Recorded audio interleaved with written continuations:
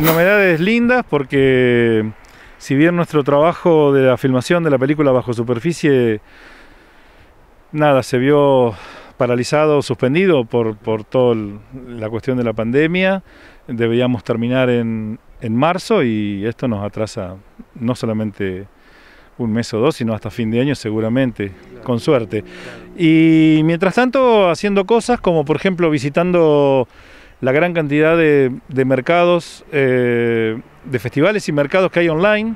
Muchos se han transformado en festivales virtuales y mesas, mesas de mercado virtuales.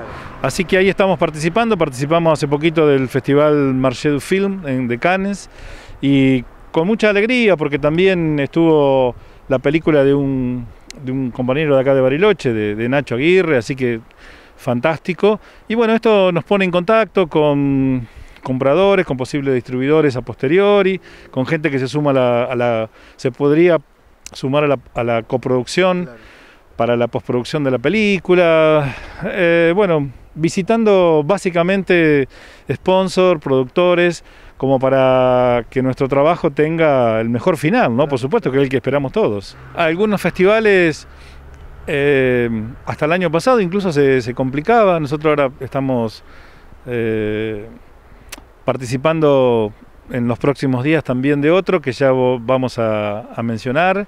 Estamos, están ahí terminando de arreglar toda la cuestión de, de los materiales seleccionados y todo, pero eran impensados hasta hace poco tiempo y esto abre nuevas puertas. Así que hay que aprovecharlos por un lado por otro lado, bueno, se complejiza todo lo que son las, filmaciones, sobre todo de películas, ya que se ha presentado el protocolo correspondiente de las autoridades y estamos esperando, por lo menos nuestro protocolo el del sector audiovisual, que tiene tres fases, eh, estamos esperando que también como ciudad, como Bariloche, sigamos avanzando en esto de las fases previstas por, por el municipio y nosotros a su vez empezar recién con la primera fase de las producciones. ¿no?